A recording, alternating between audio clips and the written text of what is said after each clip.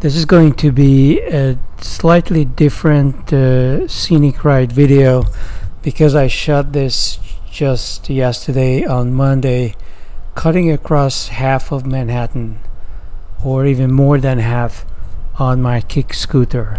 So this is not the Brompton this is my Xootr scooter. And if you if you don't know what the Xootr is you can scroll down. There is a link to my shop page. From there you can click on scooters and this is the one I'm talking about. And you can check them out right here. They cost about $300 some of them as much as 400 and the model I have they no longer even sell. It's a bit like this but it has a more aerodynamic kind of a, a cutout it was around 220 when I bought it 18 years ago. Now it's 400 so back to the ride. I started at the tip of Manhattan which is Marble Hill. This place. Marble Hill is actually a part of Manhattan and it was a part of Manhattan Island. This creek went around these streets something like this and the government artificially cut across to make it easier for shipping. And this precious marble which uh, this hill used to be full of had been mined away and taken into federal buildings. So that's what the federal that's how they operate. As far as New York is concerned they have little care for the environment, environmental the people whatever. This was a 10 mile long ride. It even though Google says that you could walk this in three and a half hours. It took me almost as long. It took me three hours of casual riding. Granted I was not in a hurry. I probably could crank it out in two hours if I wanted to but um, I did not want to break a sweat so I just came down this way and I'll show you in the video. I was surprised to see how solid the the Google footage was the image stabilization in the GoPro is, is excellent. So I went here to the dental office and then with my freshly cleaned teeth I started shopping for food at Grand Central. I went up to the Upper East Side and uh, got some dessert as well. Here is Marble Hill train station. And if you look carefully you can see that this is an artificially cut waterway you can see on the rocks and even more so as you look at the back of the station. You can see the, the sign Marble Hill and you can see that this is all machined down rock. This is not natural at all.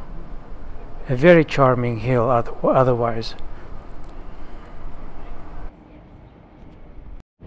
even with all the marble removed this is still a steep hill. And you don't want to take it up uh, it's easier to do downhill. And this was the beginning of my trip.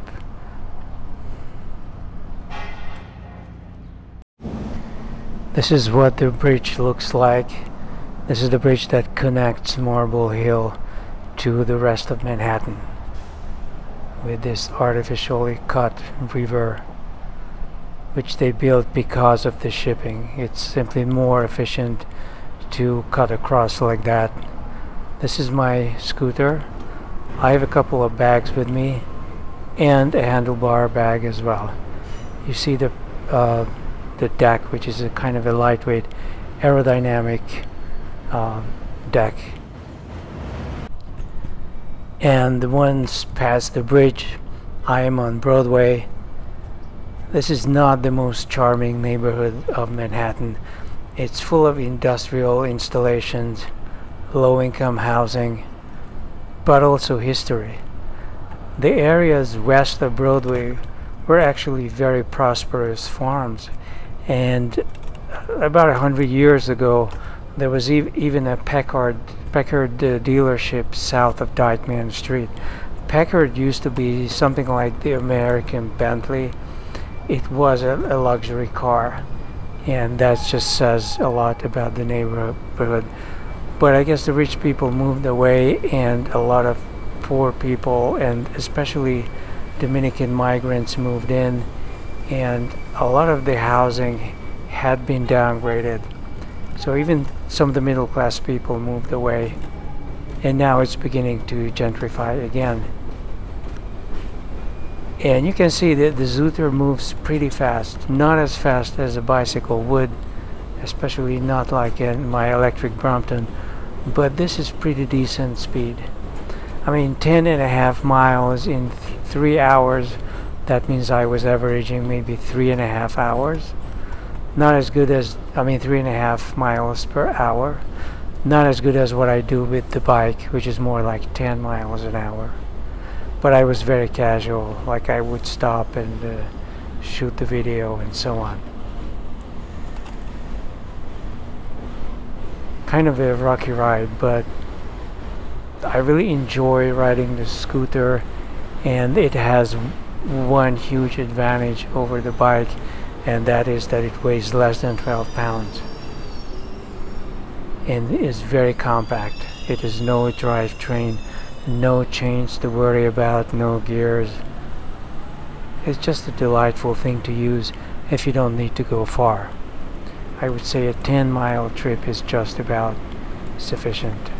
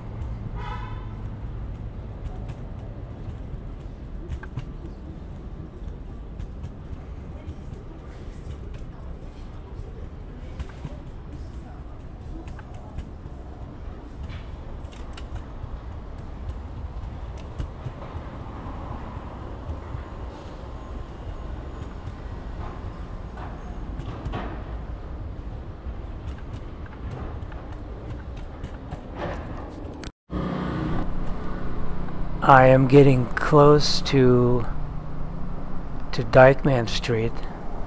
This is actually east of Broadway. This is not Broadway itself. Very poor road quality and I ended up jumping on and off the sidewalk depending upon the situation. And that's also a really nice advantage of a kick scooter as opposed to a bicycle.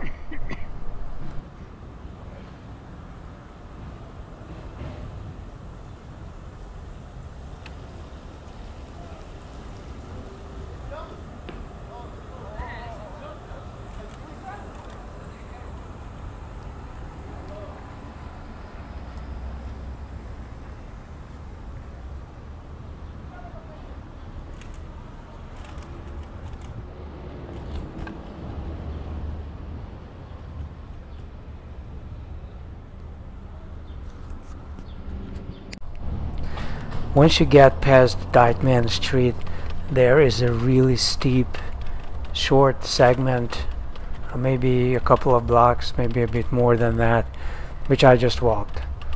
And this is called Fort George Hill. There's no point riding or kicking on on a steep uphill at least if you don't want to break a sweat. If you're exercising, it's a great way to go, but if you're just traveling from A to B, then it's easier to just walk it up. And on the top of the hill, um, it's mostly downhill or flat. And I rode over to Amsterdam Avenue because that's right next to the park. I think it's called the East River Park. It's right next to the East River where there is also a highway.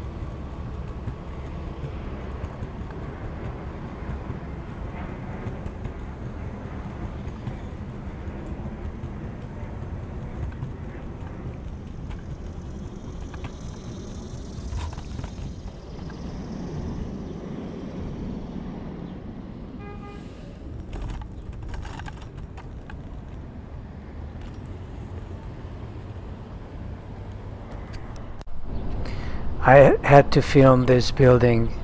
It's exceptionally ugly. There's nothing beautiful built in this neighborhood at all. Everything nice is old. Once you pass the ugly building, it gets to be pretty nice because you're riding all near the park so the air quality is better and there are not that many people on the sidewalk. Once again because I'm not on a bicycle I don't have to be on the road. If the sidewalk looks better then I take the sidewalk. And it's amazing how fast the Xootr can go. And I'm actually hitting the brake. This could go even faster. And I never ever push into it when I'm going downhill because I'm just so afraid of falling on my face but it can go really fast. You can get this thing up to close to 15 miles an hour on a downhill if you really want to kick it which I did not do. I just I would just glide down and hit the brakes uh, occasionally. This is all fun from this point on because almost the entire ride all the way to the bottom of Central Park is either in or or right alongside some kind of a nice green park.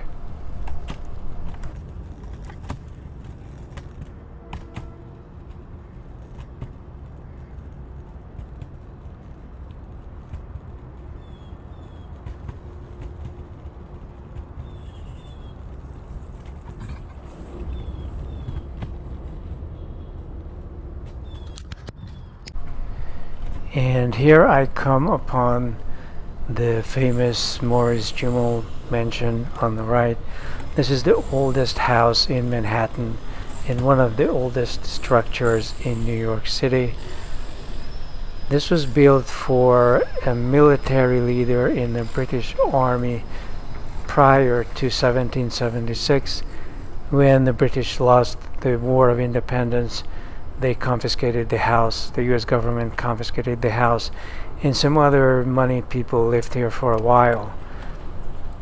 An interesting aspect of this house is that it is definitely haunted, and there are some amazing stories on the internet.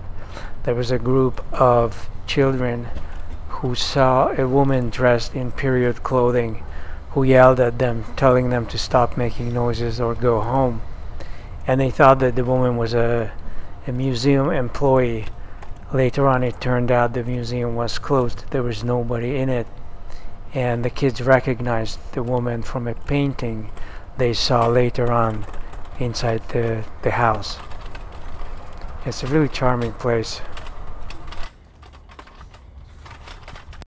Across from the mansion there is this uh, terrace, Sylvan Terrace with apartments which are charming and quite expensive but not as expensive as the upper west side or the lower parts of Manhattan.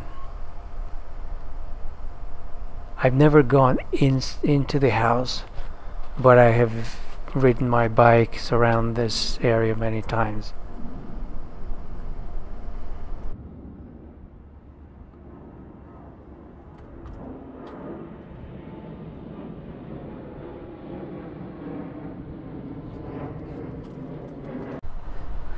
This is the north side of the property.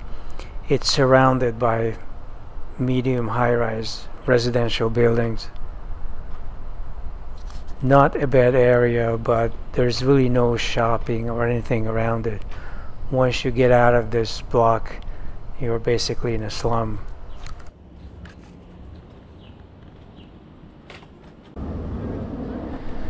From this point on, it was all downhill all the way to 155th and then it's flat. So really easy ride.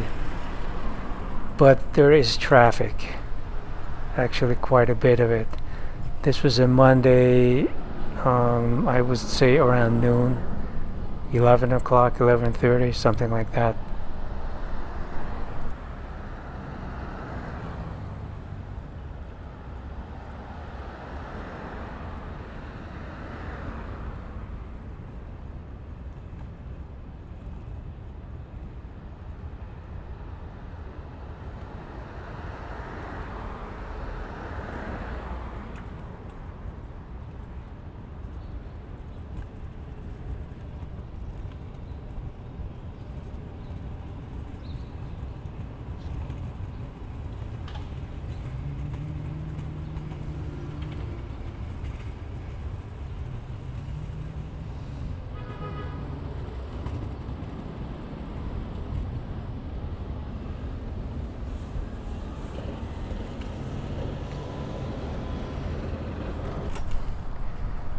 once I passed 155 I was back on St. Nicholas. This is generally a poor neighborhood but so many charming old buildings a lot of British architecture some Dutch here and there.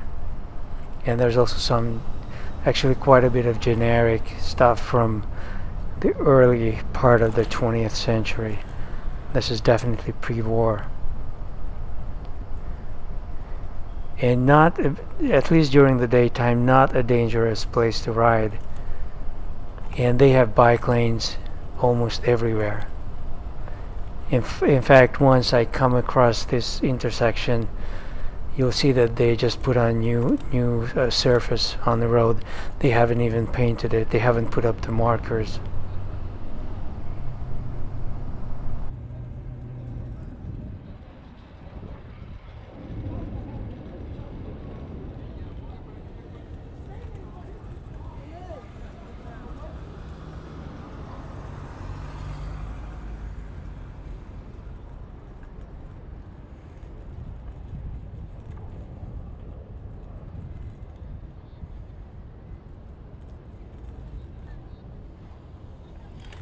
but this segment was all brand new road which I really enjoy. So smooth. You just have to watch out for the occasional crazy driver. But for the most part it's it's not bad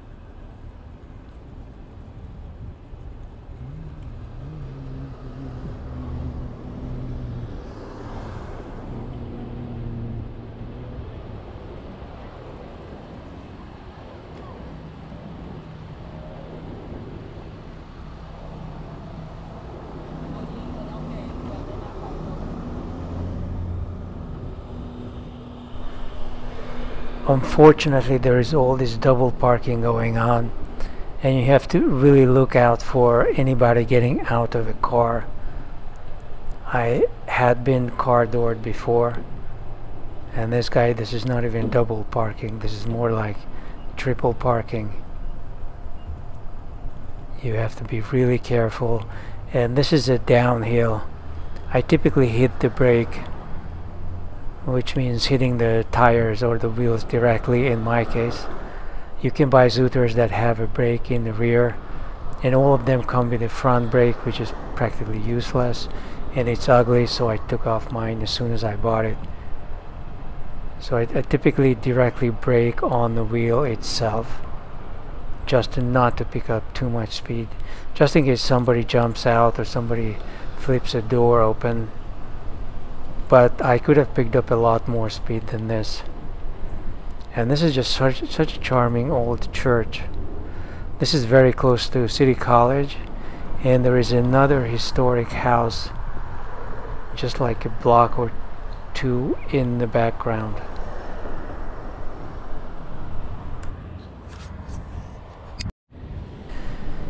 Here is another charming building on the left probably another church.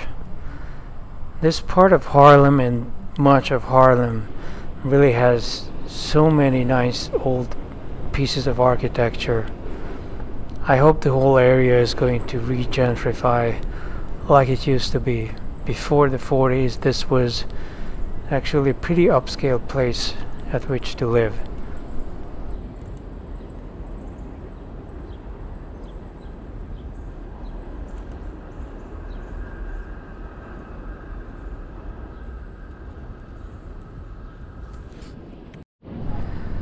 This is just below 125th Street.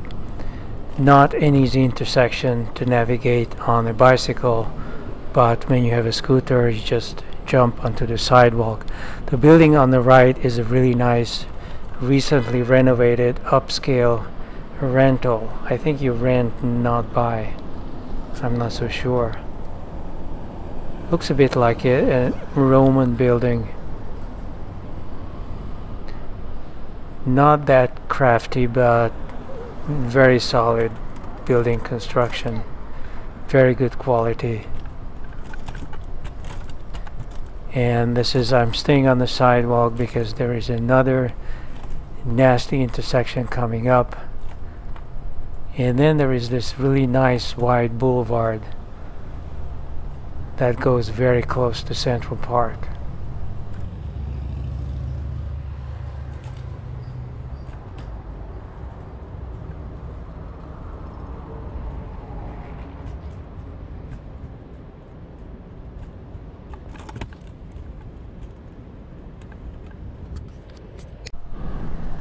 This is another difficult intersection at uh, the 121st.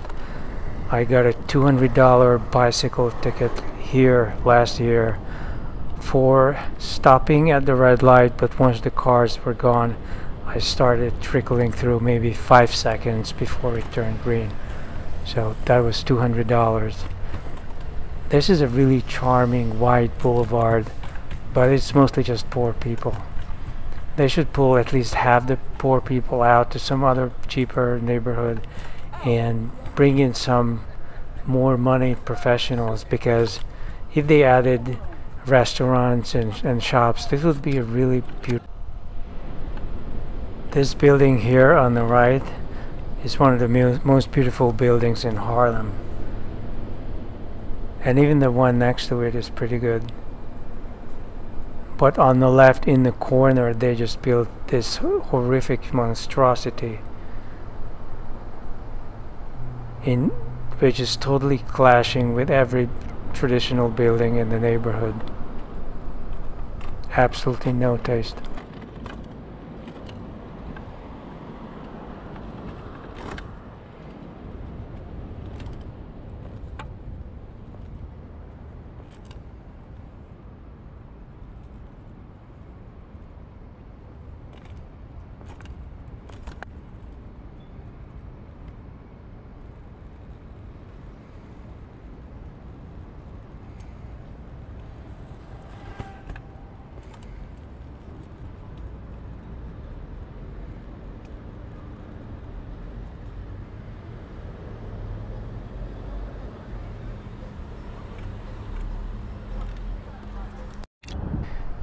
This is the last stretch to Central Park North on what is really 7th Avenue. And the driving and the riding is not very safe. Once again there is double parking, triple parking, parking on the bike lane. This is so dangerous. You don't want to squeeze in them between the two cars. I, I'd rather just go around and this was really a sunny hot day. And with my scooter I can jump onto the sidewalk on the shady side something I could not do on the bicycle. So I never get burnt when I scoot not in the city anyway. And I only scoot in urban areas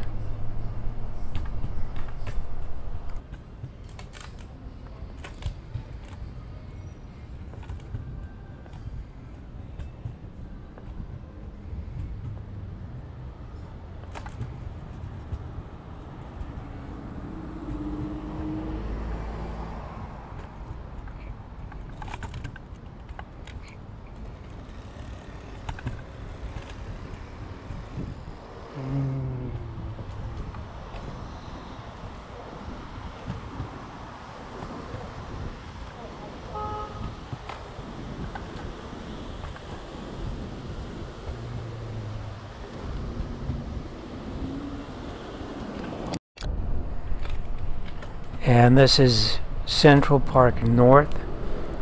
This area has gentrified over the last couple of decades. but because of the lockdown I'm not sure if that's going to stay or if it's just going to freeze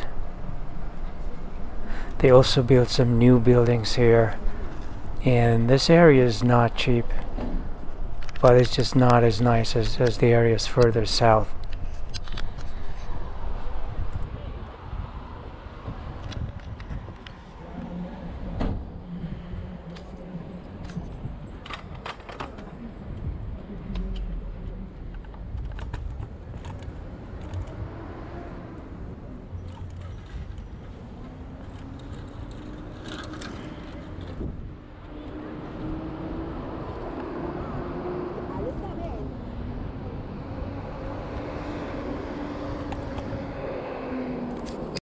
I could have gone right into Central Park but that's a very steep uphill and then it ends up with a steep downhill. And it's just easier to go around that hill Central Park North and Central Park West. This is the northwest corner of Central Park with some of the ugliest buildings in the area except for that new building that they put up there in the northeast corner which is sort of okay not beautiful but okay. The rest of them looks hor horrible. It, it looks like a jailhouse. Here I'm finally heading south on Central Park West. They only have a northbound bike lane not a southbound one. So what I'm doing is not entirely legal but I am just a kick scooter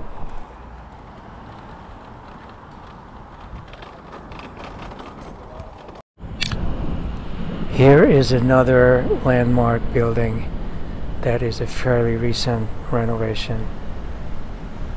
I think it's a rental and it's very spacious. Beautiful inside and out. A bit of a French style. This was a rundown place for quite some time. Then they fixed it up and now they can rent it for a fortune.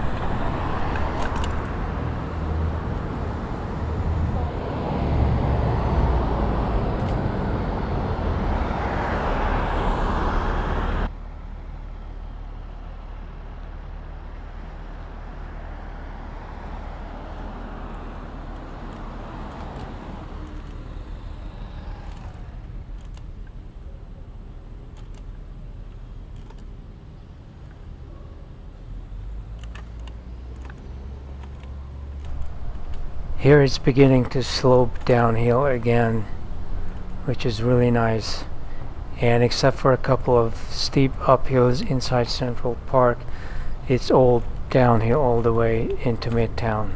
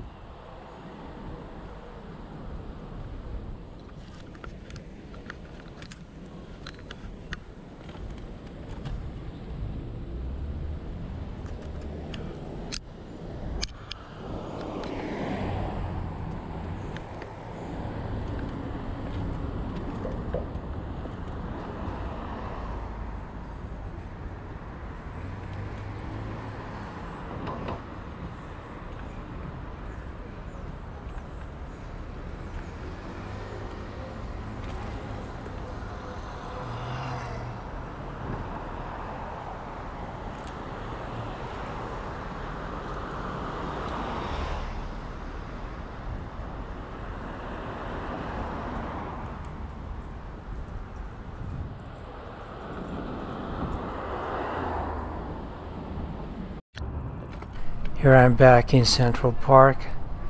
There was immediately a steep uphill which I walked and then there is this really nice downhill that goes on for a pretty long time. And once again I'm just gliding, I'm not pushing at all. And even this way it's pretty fast.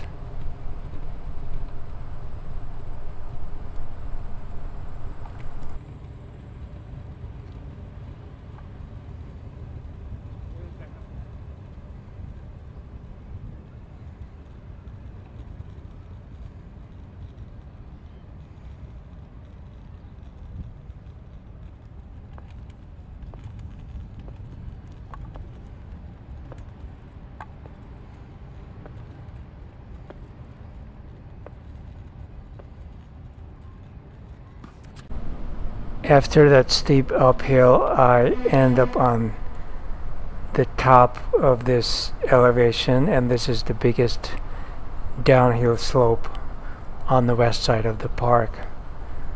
I do hit the brake a little bit just because of caution. You never know when somebody's going to jump out with a dog or a stroller. But I do pick up pretty decent speed especially toward this the bottom that's when I stop uh,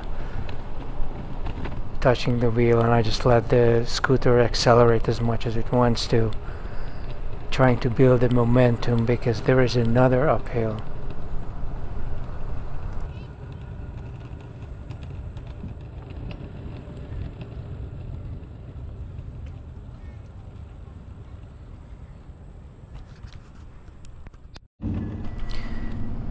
here I begin to descend again but instead of staying on the main road I go into the Great Lawn mostly to use the facilities not so much for getting to, getting to Midtown any faster. This is kind of a side tour and uh, I don't think it's legal to go in there with a bicycle or even a kick scooter but who cares? I, am I wasn't uh, getting close to anybody and uh, I have teeny tiny 18 inch wheels so nobody really cared. This is all downhill and not too steep and very very smooth pavement so I always enjoy gliding down on the scooter in this area.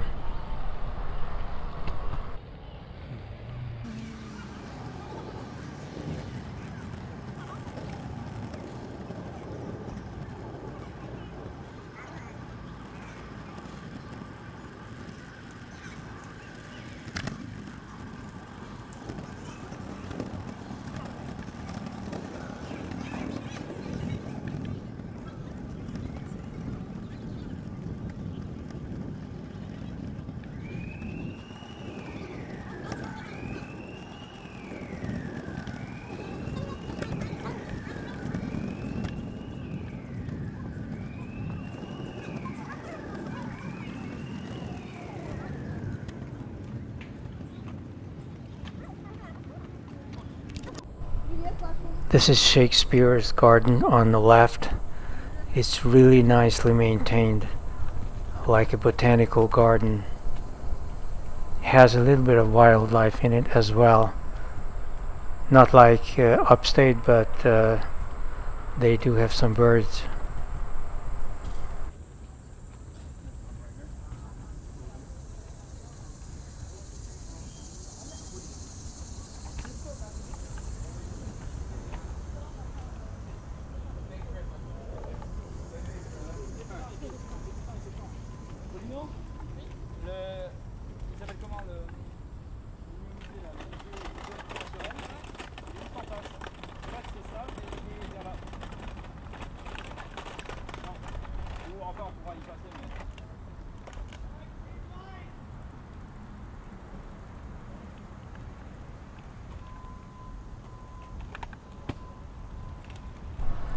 And here is where I return to the main road which is going to lead to Strawberry Field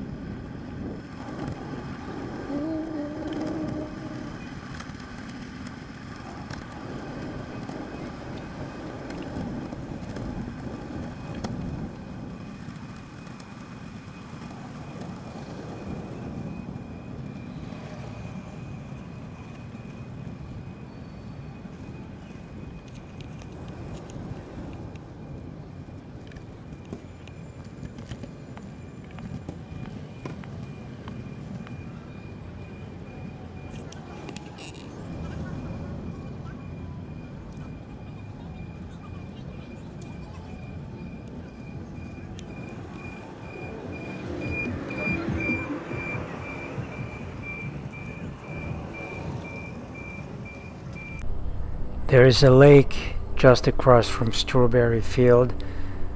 It is actually called the lake. That's it.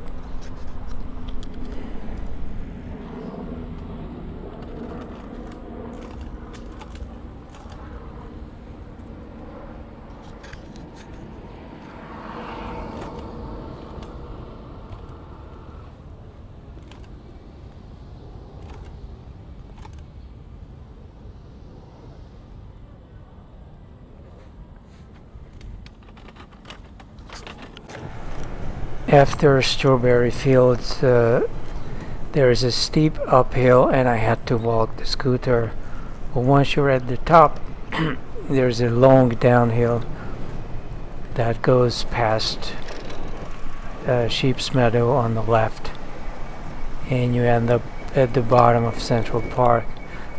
You can already see the buildings uh, of Central Park South in the background Interestingly enough, these electric scooters were not much faster than I was. In some cases I was even faster, although eventually they do catch up at the bottom of, of the slope. The fact is, tiny wheels accelerate really fast at lower speeds, like up to 5-6 uh, miles an hour.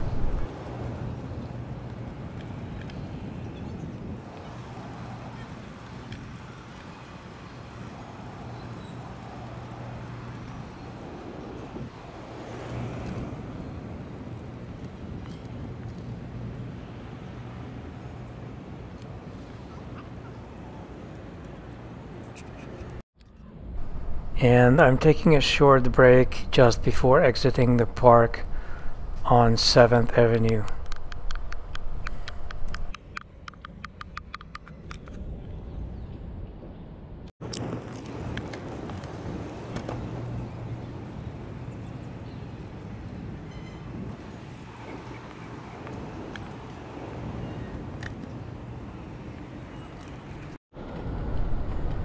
This building on the southeast corner of 58th and 7th is such a charming, intricate building. It looks different from any of the others. This was one of the first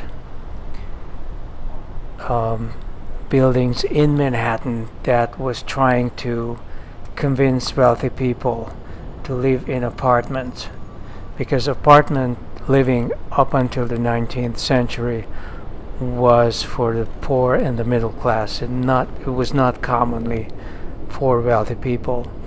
But these these uh, buildings also the one on the right side they were built with the maids quarters and uh, all the amenities you can imagine to attract wealthy people to to buy or rent real estate in the middle of the city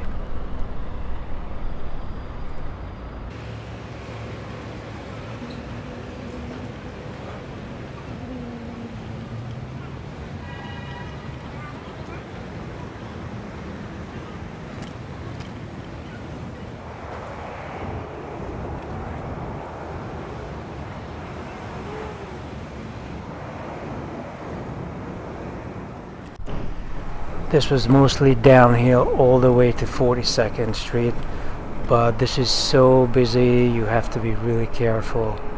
This is Midtown. This is as busy as it gets as far as New York is concerned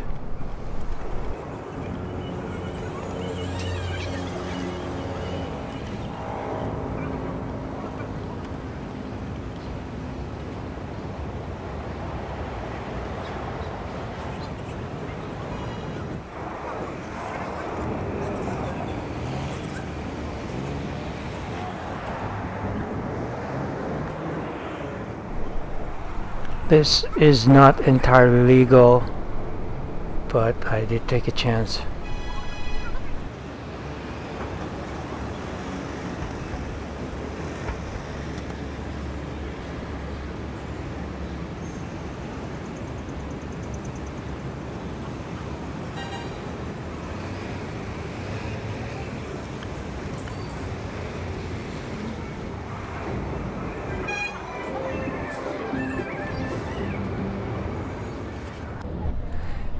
This is already Times Square and I'm almost uh, at 42nd Street. Getting pretty exhausted at this point. The temperatures were close to 90 degrees and sunny.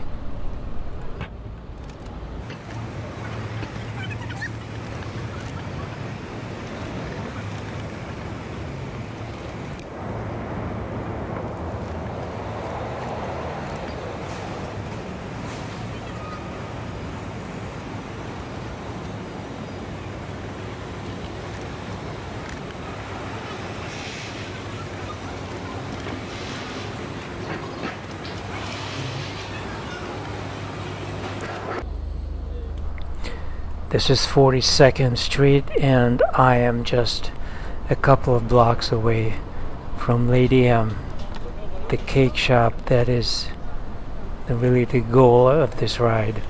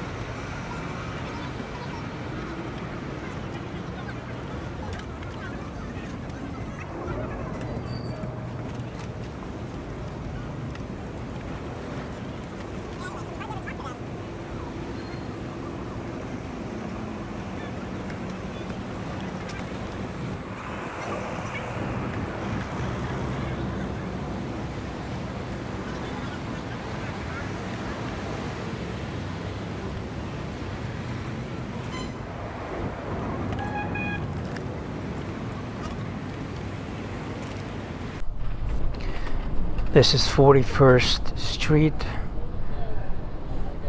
right next to Bryant Park, which is on the left, or to the north of the street. And Lady M, at least this branch, survived um, the lockdown. My last job prior to the lockdown was just a couple of blocks away from here, so we would periodically spend company budget on ordering cakes from them. Their cakes are not cheap, but they are some of the best. Lady M is a Japanese uh, chain. I think they have expanded beyond New York. They started out in Madison Avenue, I think in the 90s, and then they were successful, and then they started opening stores all over the place.